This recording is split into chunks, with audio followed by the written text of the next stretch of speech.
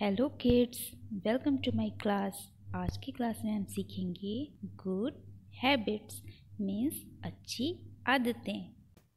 तो चलिए class start करते हैं। Brush your teeth twice a day in every morning and before to go to bed do it for two minutes use a pea sized amount of toothpaste.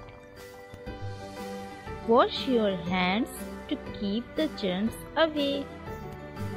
Early to bed and early to rise makes one healthy, wealthy and wise. Take bath daily. It keeps the skin clean and free of germs. Throw waste in dustbin. We should throw garbage in covered bins.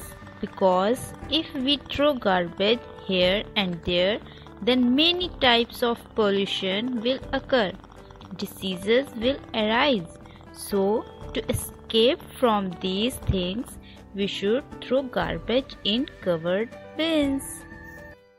Thanks for watching